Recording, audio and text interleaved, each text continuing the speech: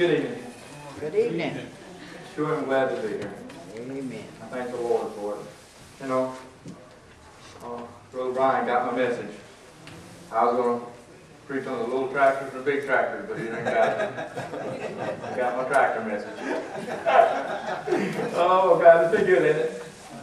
Lord sure is good. You know, it, it's amazing to be able to stand up with the quality and, uh, preachers that I'm standing with, uh, the best in the world.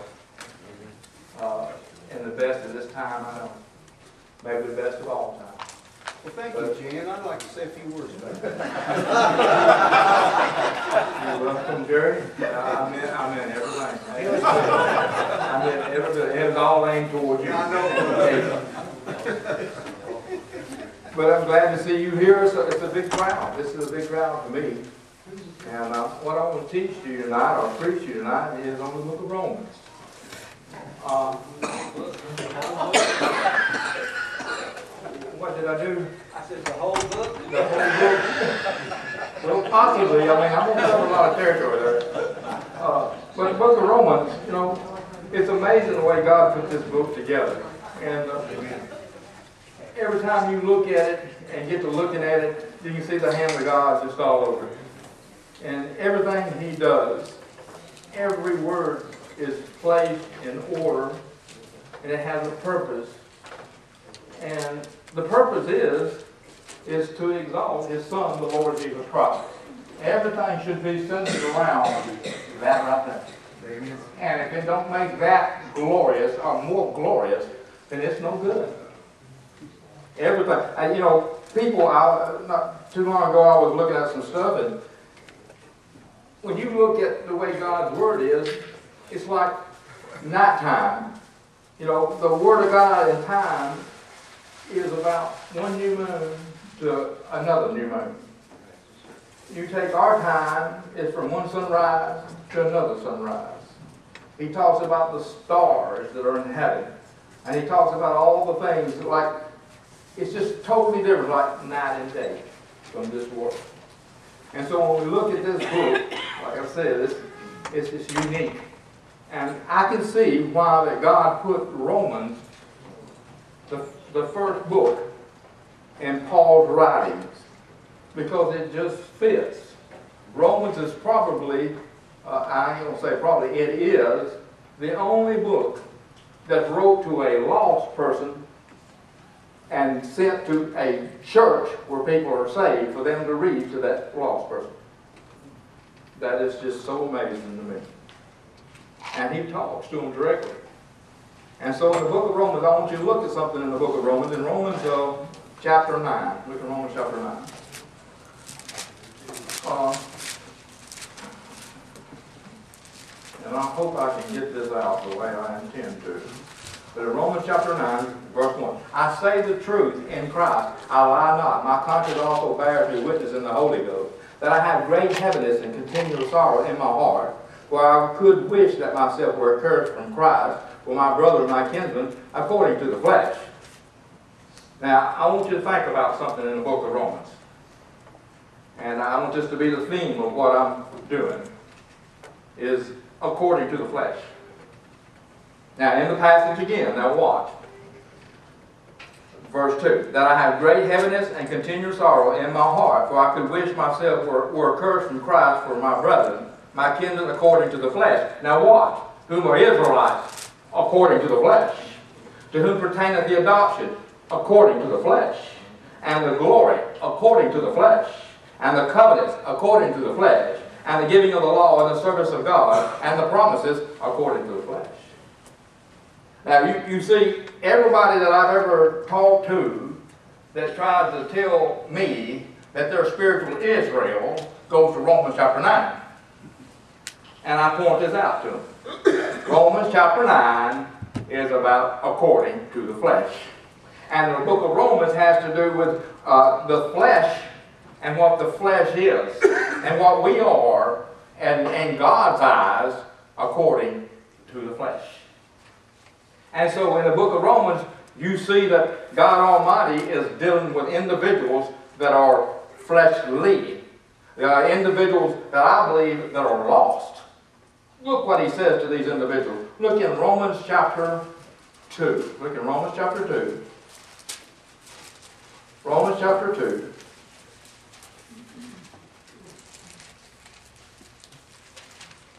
Look at verse um, 17. Behold, thou art called a Jew, and restest in the law, and makest thy boast of God, and knoweth his will, and approveth the things which are more excellent, being instructed out of the law, and art confident that thou, now who's thou? Is who he's talking to, is it not? Well, these individuals, what are they resting in? They're resting in the law. And verse 18, and knoweth his will, and approveth the things which are more excellent, being instructed out of the law, and art confident that thou thyself art a guide of the blind, a light of them which are in darkness, an instructor of the foolish, uh, foolishness, and teacher of babes, which has a form of knowledge and of the truth of the law. These people have a form of knowledge, do they not? And of the truth of the law. Well, look what he said in Romans chapter 10. Now, what I want you to see tonight is the individual that he's talking about in the book of Romans are individuals that know the truth. They have a form of God. Romans chapter 10, verse 1. Brother, my heart's desire and prayer to God for Israel is that they might be saved. For I bear them record that they have a zeal of God according to the flesh. You see that? According to knowledge. But uh, for they being ignorant of God's righteousness and going about to establish their own righteousness according to the flesh. Righteousness have not submitted themselves unto the righteousness of God. Well, they submitted themselves unto God, but they did it in the flesh.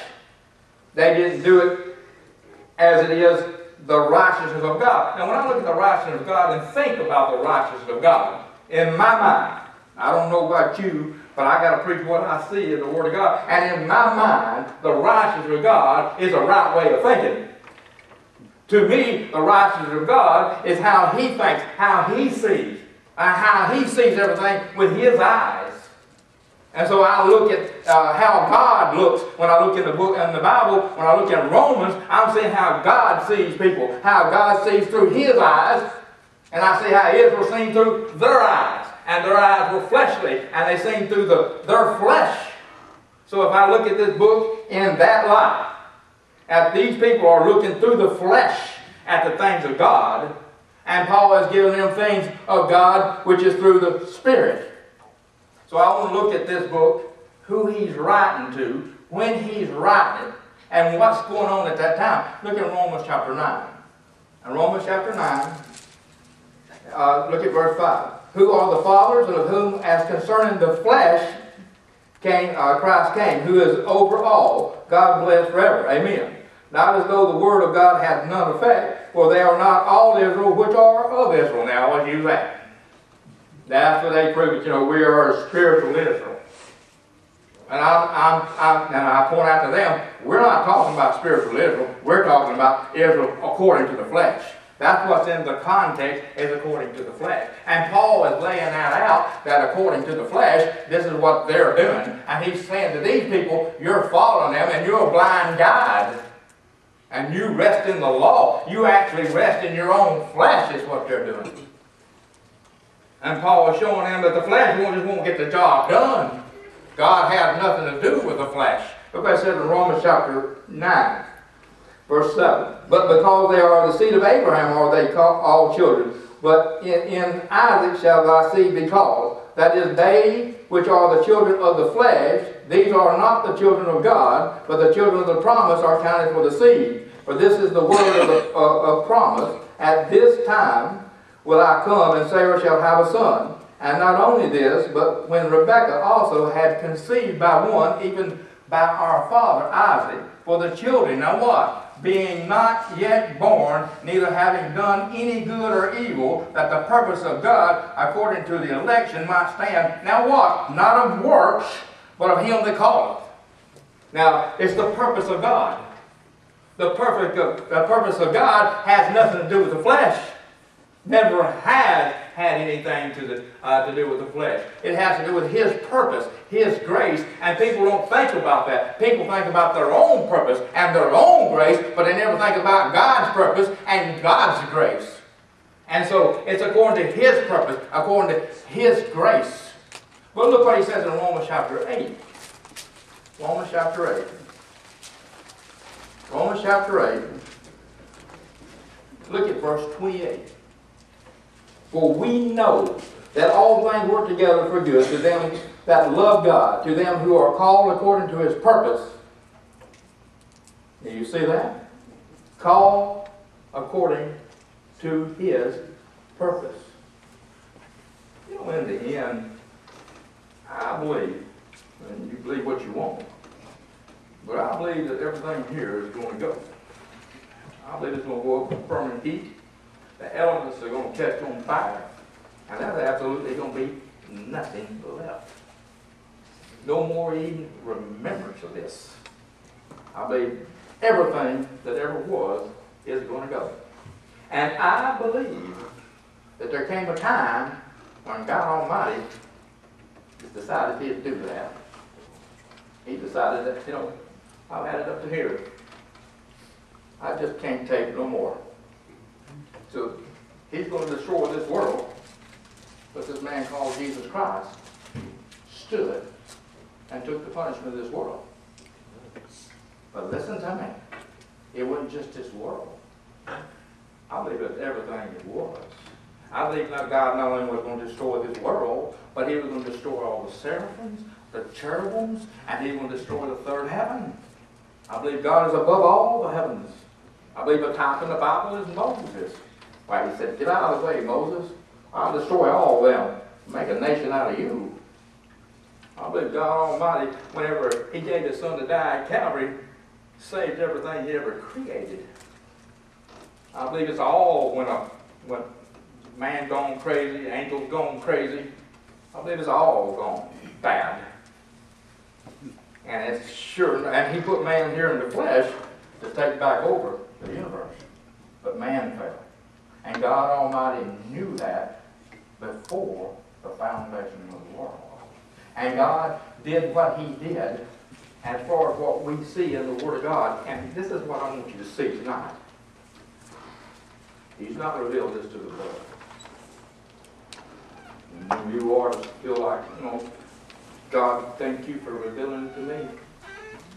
He's revealed it to us for His purpose, His grace.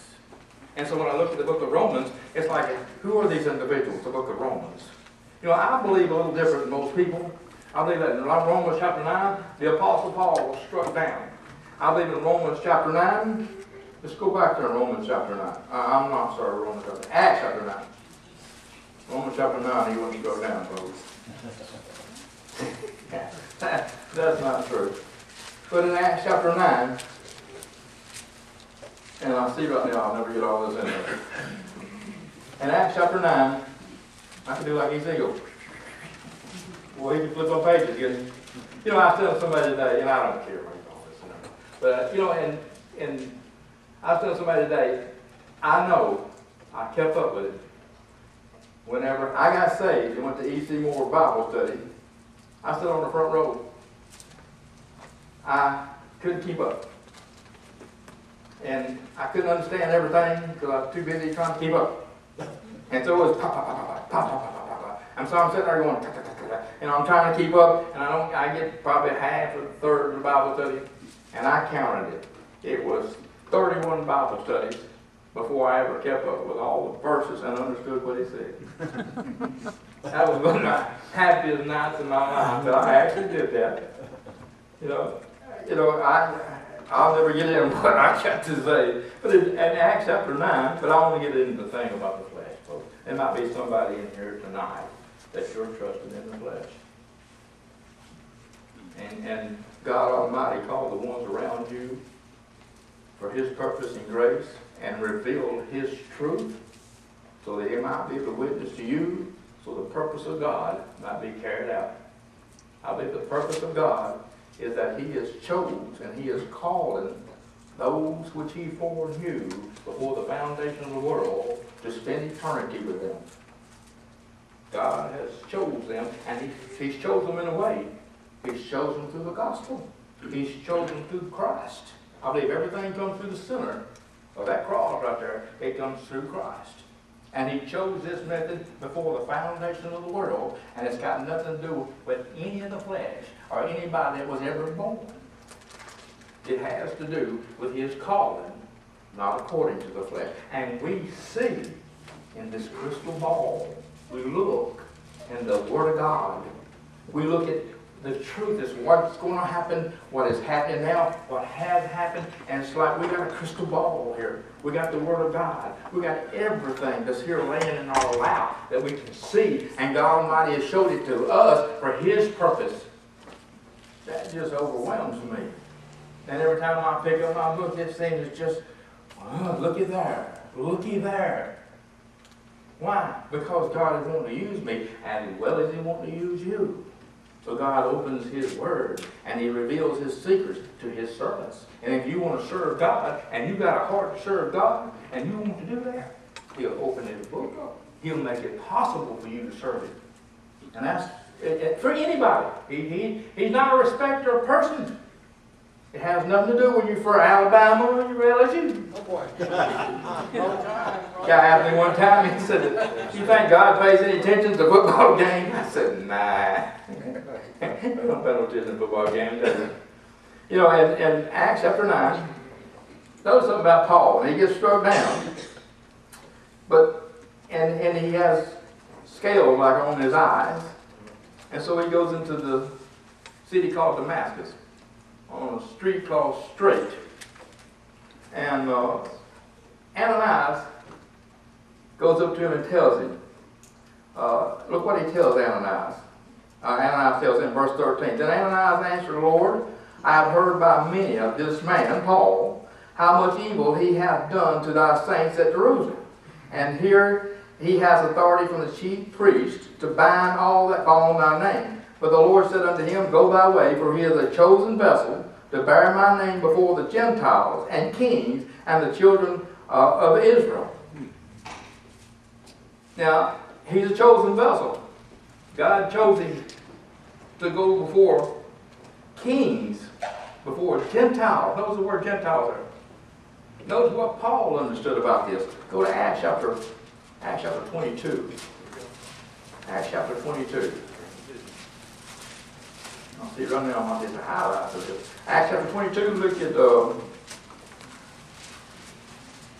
this is Paul now, and look at verse 7. And I fell unto the ground, and heard a voice saying unto me, Saul, Saul, why persecutest thou me? And I answered, Who art thou, Lord? And he said unto me, I am Jesus of Nazareth, whom thou persecutest. And they that were with me saw indeed the light, and were afraid, but they heard not the voice of him that spake to me. And I said, What shall I do, Lord? And he and the Lord said unto me, Arise and go into Damascus, and there it shall be told thee of all things which are appointed for thee to do. I believe when he went into Damascus there, Ananias told him what his ministry was going to be. Told him that he was going to go to the Gentiles. Told him that he was going to go to kings, and told him he was going to go to the children of Israel. Did he not? I believe that Ananias told him that. I believe that he, knew that for sure. Now, right after that, Paul preaches Christ straightway. And then he goes into a place called Arabia. Look in Galatians. Look in Galatians. Now the thing about it is, how much do you believe your Bible?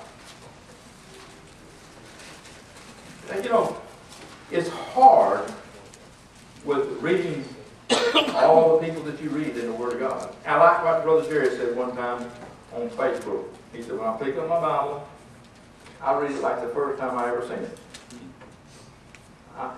God, that's good. Yeah. Read it like the first time you ever seen it. Look in Galatians chapter 1. And Galatians chapter 1, look at, look at verse uh, 7, or verse 6. I marvel that you're so soon removed from him that called you unto another, unto the grace of Christ, unto another gospel, which is not another, but there be some that uh, trouble you, which would pervert the gospel of Christ. But though we or an angel from heaven preach any other gospel unto you, then uh, that which we have preached unto you, let him be accursed. Now notice, come down to verse uh, 11. But I certify you, brother, that the gospel which was preached of me is neither after man, for neither I received it of man, neither was I taught it, but by the revelation of Jesus Christ. Well, I know for sure that it wasn't the gospel that Paul preached. I don't care what gospel you're that what you're looking at in the book of Acts, what you're looking at anywhere else, Paul is giving you his testimony. If Paul was to give you his testimony of how he got the gospel and what gospel he preached, he gives it to you right here, and he tells you it's not a man. It's not after man, and neither did I receive it of man. But notice what Paul said, look in verse 15. But when it pleased God who separated me from my mother's womb, as birth, and called me by his grace, Acts chapter 9, to reveal his son in me, that I might preach him among the heathens, immediately I uh, conferred not with flesh and blood. Well, I know then that God Almighty told him right here in the passage, and it says over here, that he might preach him uh, among the heathens, did he not? So I know Paul, at the very beginning, knows that I'm going to preach him among the heathens. No doubt with that. But notice what Paul did afterwards. Look at verse 17. Neither went I up to Jerusalem to them which were apostles before me, but I went into Arabia and returned again to Damascus. Now let me ask you something. When Paul went to Arabia, what did Paul receive? The gospel of God? Gospel of Christ? What did Paul receive? What was it he received of, of Christ? I believe it had to do with the gospel of Christ.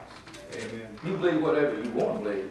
But I don't believe that Paul went there for three years and God Almighty talked about the gospel of God for three years and the things pertaining to the kingdom of God like he did with Peter. I believe to begin with, when Paul come back from Mount Arabia over there, that when he come back, well not Mount Arabia, but from Arabia over there, he had the gospel of Christ. Amen. I believe he knew that, and he knew the gospel of Christ. Paul, uh, Pe- uh, Paul knew that before he ever went to Jerusalem. Now you tell me what he preached when he went to Jerusalem. Whatever he preached there in Acts chapter 9, it turned that place upside down. I'm telling you, look at Acts chapter 9. Look at this in Acts chapter 9. Paul's earlier travel. In Acts chapter 9,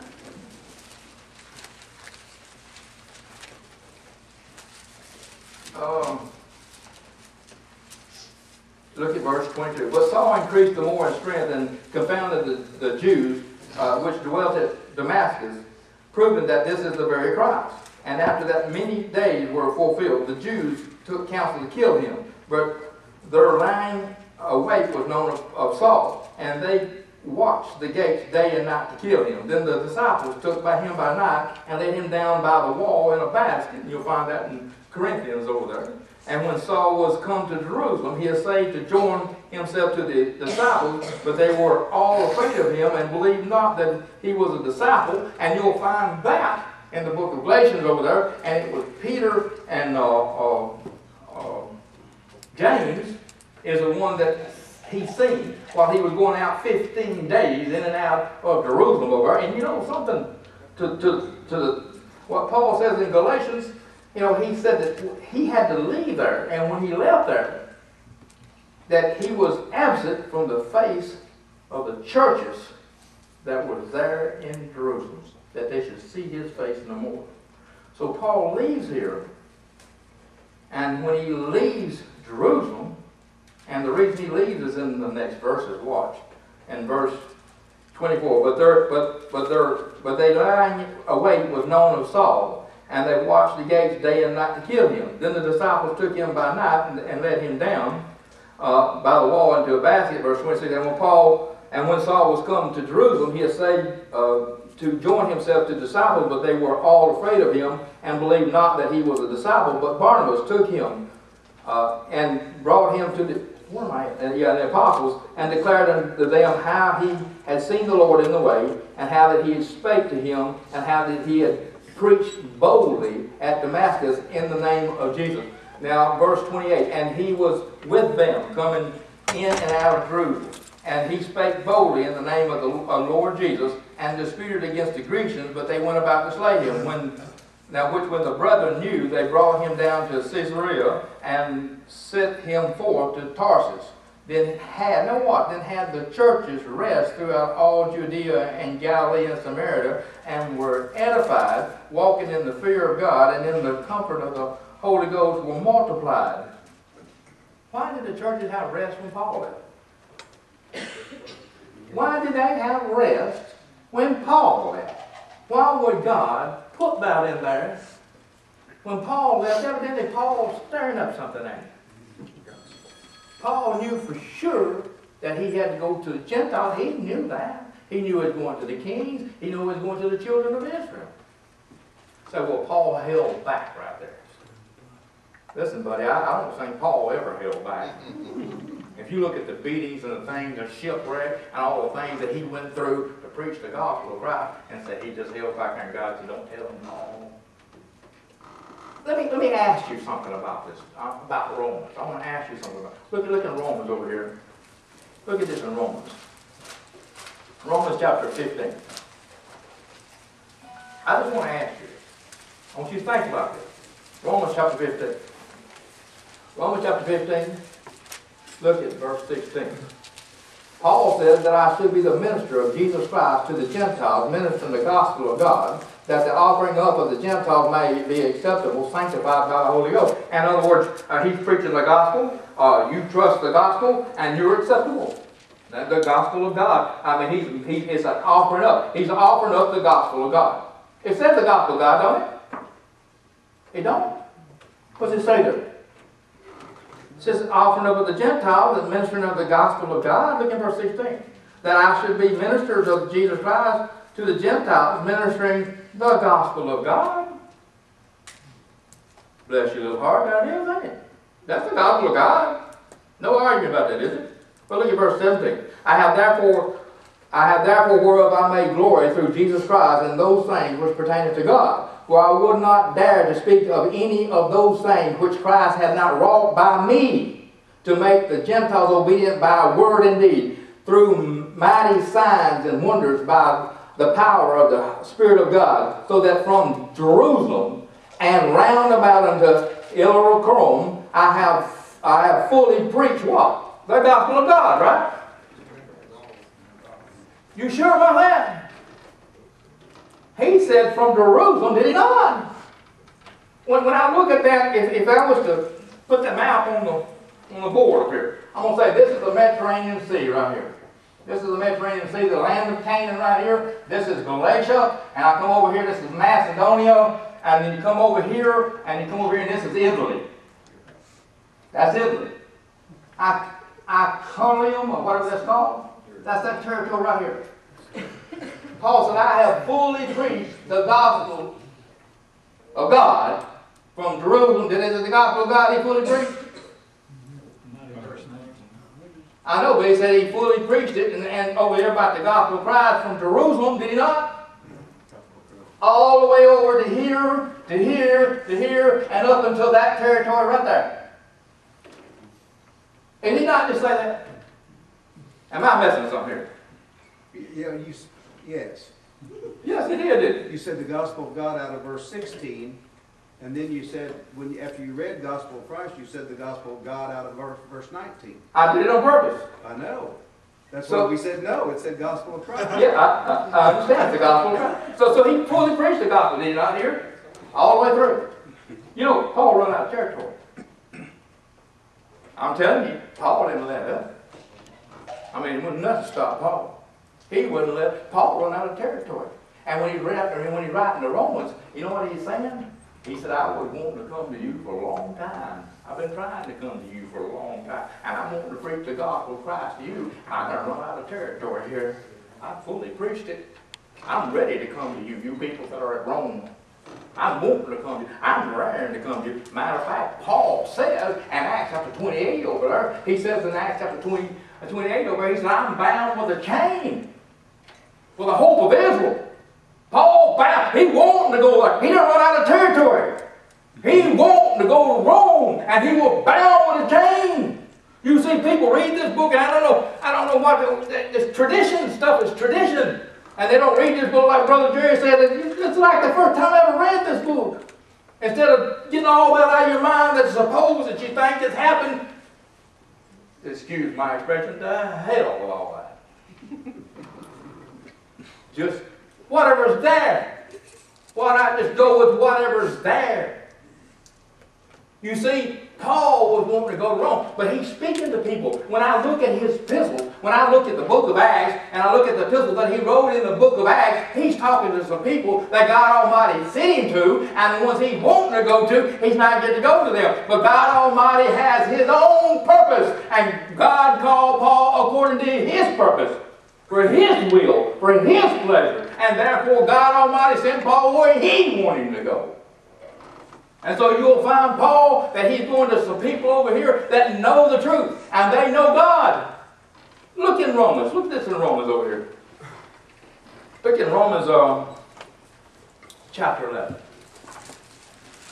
Romans chapter 11.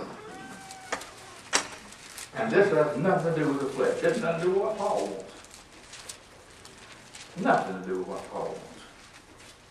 We have what God wants right here, don't we? we have His will.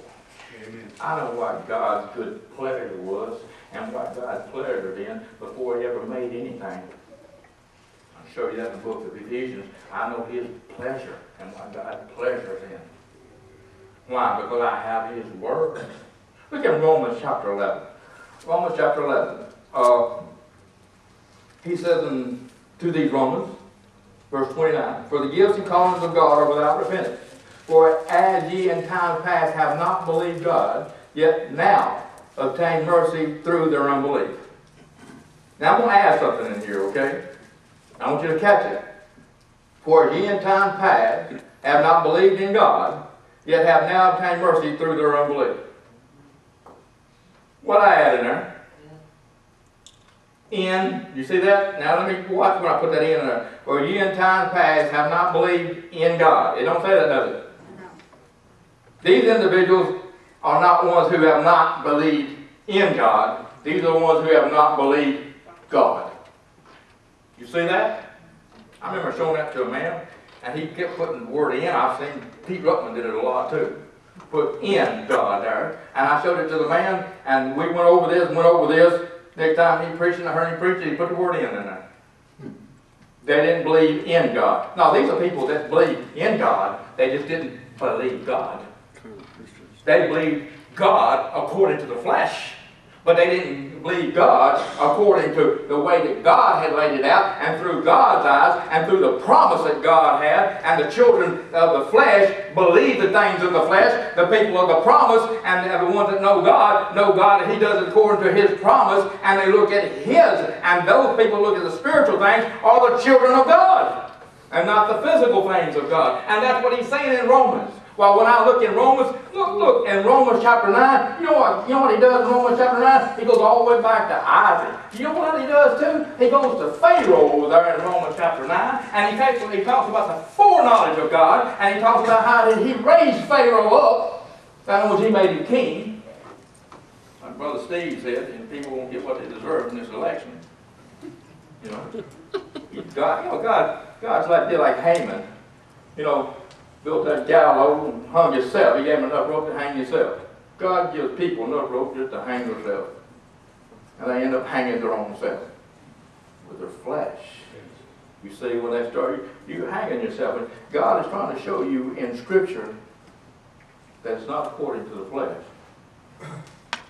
According to the flesh, if I was to say to you tonight, if you've never heard about the Lord Jesus Christ, and if I were to walk with you and talk to you and talk to you about salvation, I said, what would you think? How would you think God would save you? You know what you'd say if you never heard about this? About me doing good and being good. There's no way in hell that you would ever say, I think God ought to take his son, I think he ought to put him on a cross, and I think that they ought to just beat him miserably. And you ought to send him to hell, and you ought to send him down and let him just suffer down in hell. That's how I think I ought to be saved. Okay. you see, it's not according to the flesh, is it? the book of Romans has to do, it's not according to the flesh, it's according to God's will. And he said, you know what he said about Pharaoh? Look at Pharaoh. Look in Exodus chapter 5. Byron, how much time have I got? Oh, 15 more. Okay. Exodus chapter 5. Look at, look, look at something about Pharaoh here. Exodus chapter 5.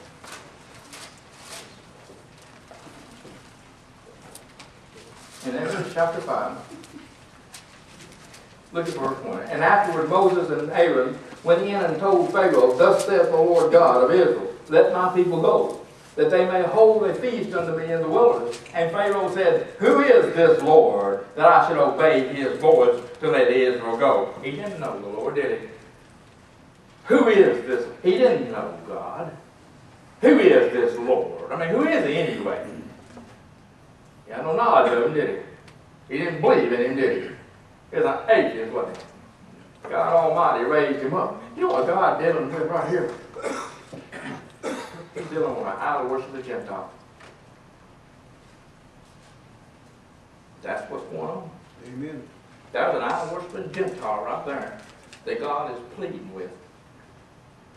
I believe there's some things that's going on in Acts chapter 15, and Paul's trying to get some people that are the children of promise, that that that are he's trying to get them to do something, and it has to do with something that over here he ends up doing it with is the idol worshiping Gentiles over here of Rome.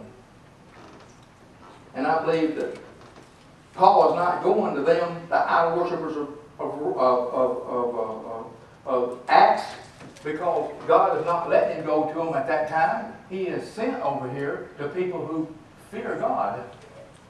And he's trying to get these people over here, like the book of Romans over here, that fear God, that do fear God. He's trying to get a, one saved, other, a remnant saved of those people, so that they would go to those Gentiles that are outside the covenants of promise. But Paul himself is not going there because God won't let him go there. You know why? Because God, Jesus Christ knows the best way for you to be saved, and He actually all things work together for good for them that are the called according to His purpose. Tonight, if you see that Jesus Christ paid the price for your sins, that He died over there, and you're free. Let me tell you what your problem is tonight. Your problem tonight is the flesh. You know what Paul's trying to get people to see? That their problem was the flesh. Listen, God Almighty created Adam and gave him the body that God Almighty wanted him to have. God Almighty never intended on you to have that body you got right now.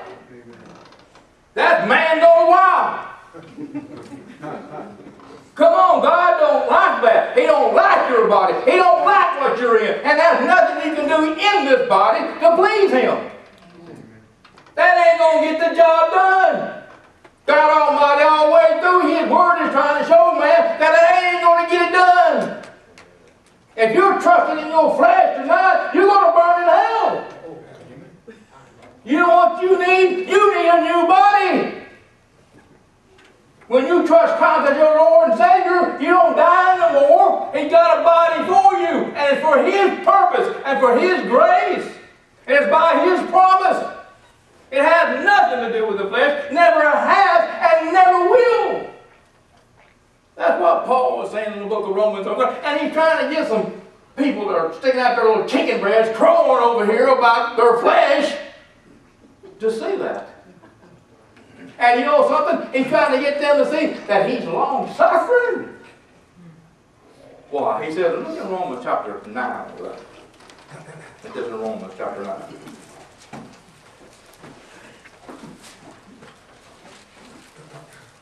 Oh, God long suffering with you. At one time I was at the nuclear plant, I worked at the nuclear plant, and this guy said to me, well, he came up and I was talking to some other people there that were religious. And uh, he said, uh, we're sitting there talking about the Bible. So he comes up and he takes his branch and takes a game box and goes, whoo, up against the game ball box. It just rattled through the halls. And he said, stuck that right up there like a ring. Said, "If there's a God in heaven, let him strike down lightning and strike me down right now. And those guys were religious around me, so I'm getting away from him. I'm going. I'm leaving. I'm getting away from him. And so they went trucking off down through there. And he looked at me and said, why ain't you going?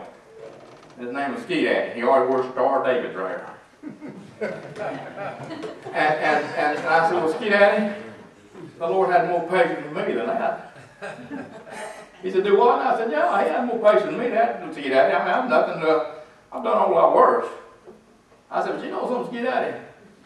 Lord don't respect you. You think he's going to do what you want him to do? I said, let me tell you something, Ski Daddy. Let me tell you something about the, the Lord. I said, you know, and he, I know he built fires, I said, you know what the Lord will do? When you're reaching down to get a piece of wood to go in that fire, he'll have a little bit of spider bite you, and you'll that. I said, thank you, Vice Ski Daddy, turn on off. Listen, God long suffering. You know that? I believe that type is in Romans chapter 9. Look at this type in Romans chapter 9. God's talking in Romans over here. Romans chapter 9 uh, about Pharaoh. Now, in verse, uh, verse 15. For he said to Moses, I will have mercy. Now, mercy is something you get after you've already been found guilty. It's something You've already been felt, that's it. You know, God foreknows before the foundation of the world who is and who ain't. He don't make you do it. It's like him watching a movie. He knows what's going on. But he didn't, he didn't make people do that in the movie, but he knows what's going on. And so God Almighty over had mercy. He raised up Pharaoh. Why? For the children of God to see his mercy and his grace. Ain't that amazing? I get to see His mercy and His grace. Think about it. You're in here tonight, you get to see this. You get to share this with others, the world. And they're the ones that God's calling right now. And they're calling Him with the gospel. And you get to see it. Now, look at around, get through this real quick. Verse 16. So then, it is not of him that willeth, nor of him that runneth, but of God that showeth mercy. For the scripture saith unto Pharaoh, Even for this same cause our same purpose have I raised thee up, that I might show my power in thee, and that my name may be declared in all the earth. Now, want you think about something. What if God raised up Rome over here to take care of, say, Israel come low am I? To show you his mercy. What if he's long suffering? What if as he raised up Pharaoh, Pharaoh did all that over there? God Almighty raised up Rome and showed mercy to the Gentiles. Through that. He wrote it through it. You know, he, he showed his long suffering and watch. Look what I'm showing to you. Look in verse, verse um, 22. What if God, willing to show his wrath and to make his power known, endured with much suffering are much long suffering, the vessels of wrath fitted to destruction. Now notice in verse 22, what if God willing to show his wrath? Now he's willing to do what? Show his wrath. On who? On Pharaoh. What if in the future, say God shows his wrath? God showed his wrath back here, did he? It's on those over there that so didn't want, wouldn't receive the gospel. And he did it through Rome. He showed his wrath. God's long suffering as it is with the Gentiles now, is he not? Those ones of Rome over there, he's long suffering with them. He's, he's long suffering with us. He's long suffering. God's willing. Now watch. Uh, eight, uh, verse 22. What if God, willing to show his wrath and to make his power known, endure with much long suffering the vessels of wrath fitted to destruction, that he might make known the riches of his glory on the vessels of mercy which he had uh, for prepared unto glory. Now, I believe that God Almighty is letting this go on now. Rome took it over. God just letting it go. Why? Because there are people that will see the gospel of Christ, that will see his long suffering. That's what Peter finally seen about all the business, is that God Almighty is long suffering. What if God, the vessels of glory and mercy, showed his mercy to us, so we can see his long suffering through the Apostle Paul and through this time period. God long suffering in this world, is he not? Amen. He's suffering the flesh to just do anything they want to, say anything they want to about it. And they do, don't they? Just anything they can think of, and it's just getting worse and worse. And then the ones that are of this world, they don't see that. All they see is the things of the flesh. If you're counting on your flesh tonight, something you've done, something you've said, something you're going to do, then you're lost. Your problem is that you need a Savior. You know what he saved me from? Me. The Bible says in Matthew chapter 7, it said, Well, it's not what goes in a man that defiles a man, it's what comes out out of the heart is of evil thoughts. Murder, adultery, fornication. You have those thoughts. And you have a problem. You know what it is? It's the flesh. You have a mind of the flesh, just like I do and you are enemy with God, according to Colossians chapter 1. The Bible says we're enemy in our minds. He took care of your fleshly problem at Calvary. Now, the only way you can be enemy with him is in your mind. Tonight, in your mind, quit being enemy with God. Accept Christ as your Lord and Savior, and He'll save you from the condition that you're in now, that Adam put you into. You can have salvation, it's free. And Jesus Christ paid the price. Amen? Amen. I chopped it up, Darrell.